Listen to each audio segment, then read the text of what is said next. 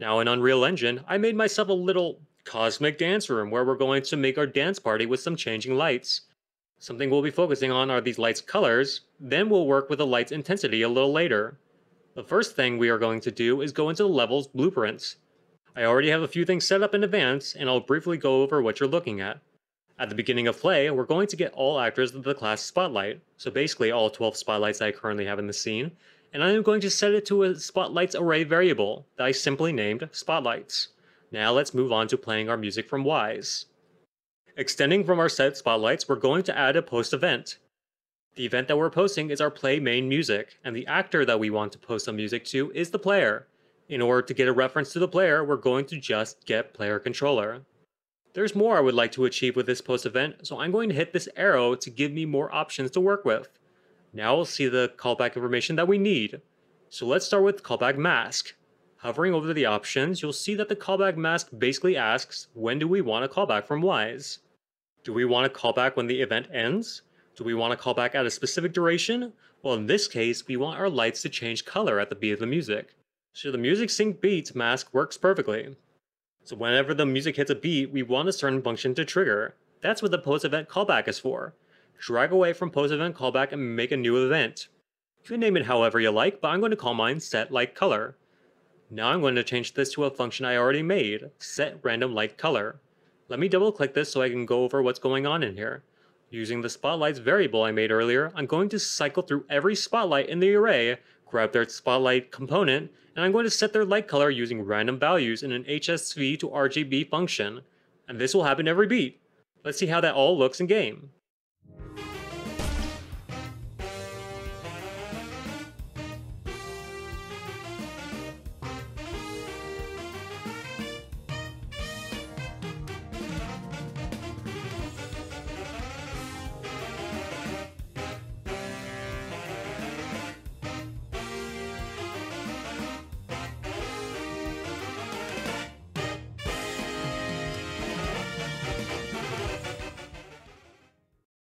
That looks pretty good, but I think we could do a little better. The saxophones hit a peak note towards the end of the music before the repeats, so what if we made the lights grow brighter when this happens? In order to achieve this, we won't want to sync to the beat of the music. We'll want to use a callback after we reach some kind of cue. Let's head back to Wwise really quick.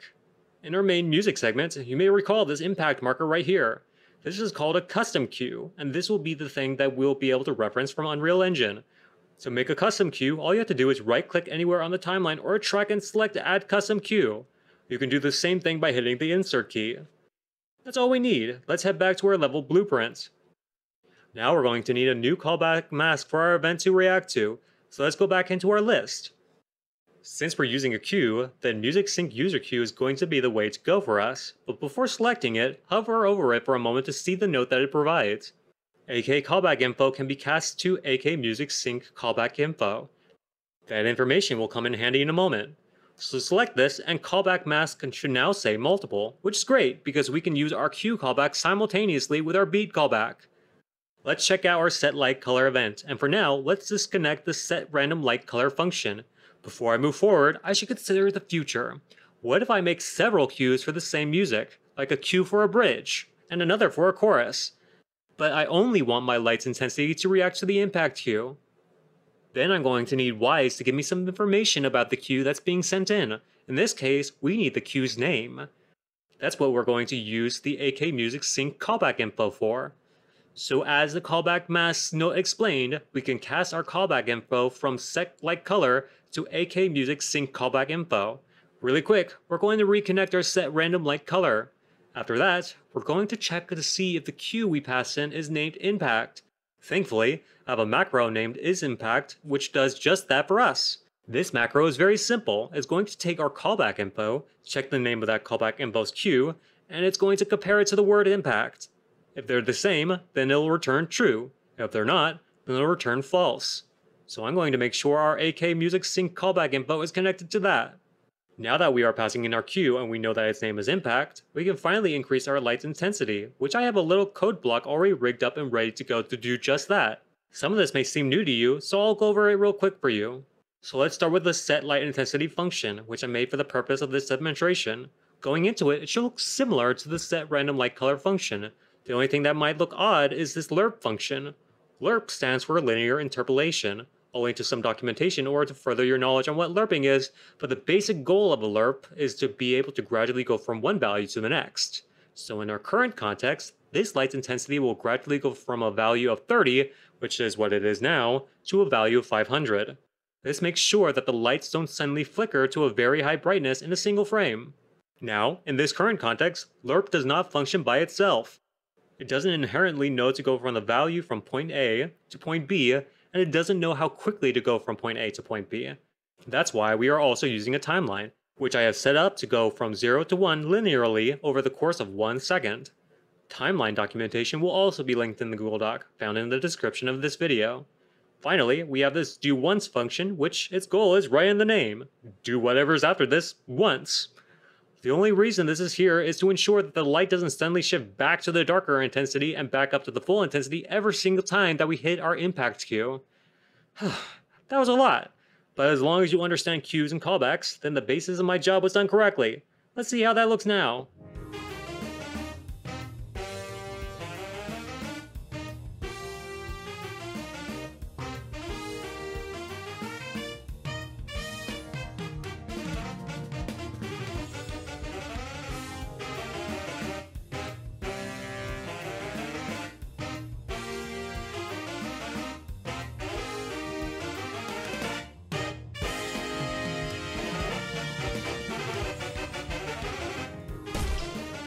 It looks really cool. Now we're having an amazing dance party. And based on the amount of callbacks we have access to, we can do so much with our music to make this even more cool. But for now, I'm going to briefly go away from the music to demonstrate a unique callback known as a marker callback. Unlike cues, markers are directly embedded alongside the wavelengths of sound files using wavelength editors like SoundForge. However, we can do it in Wwise too. In my actor-mixer hierarchy, I have two S effects already prepared. There's rhythmic ticking,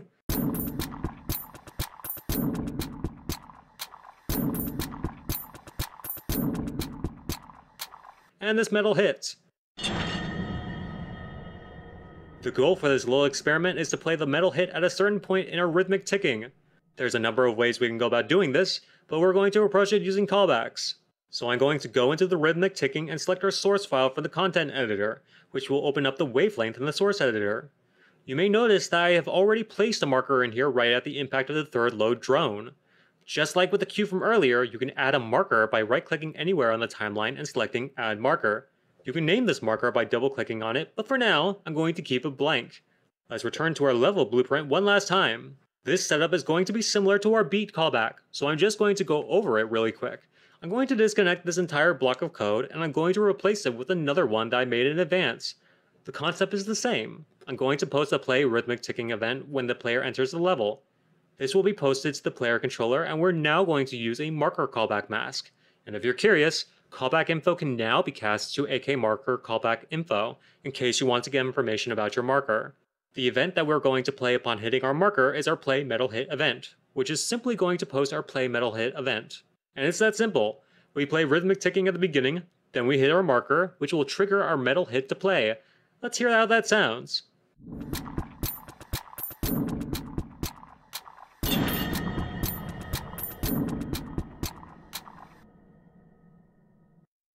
Thank you for watching. Before you go, I'd like to hit you with a few challenges that'll help solidify your knowledge on callbacks.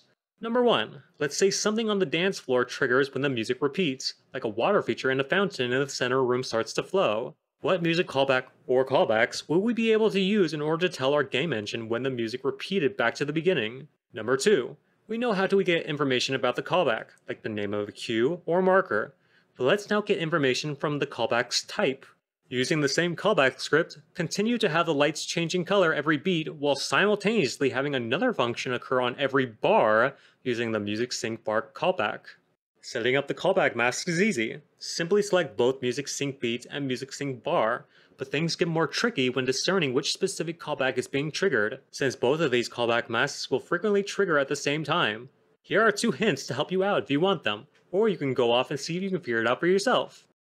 Make and set an EAK callback type variable that you will be able to use to compare to Wwise's callback. Make use of the callback type output pin on your custom event. This will tell you which type of callback is being passed from Wwise, whether it be music sync beat or music sync bar.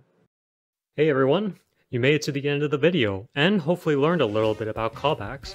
If you decided to complete the challenges above, please feel free to link me to a video of your own demonstration down in the comments. Or you can use the WidHid Challenges hashtag or tag me with at Composer on Twitter so I can help share your work with others. As you're doing these challenges, remember, sound design is a fun and creative field, so have fun and be creative with it. You'll learn more by actively engaging with your learning, and hopefully you'll enjoy it too. For now, this is Jake Gamelin with WidHid Game Audio. See you next time.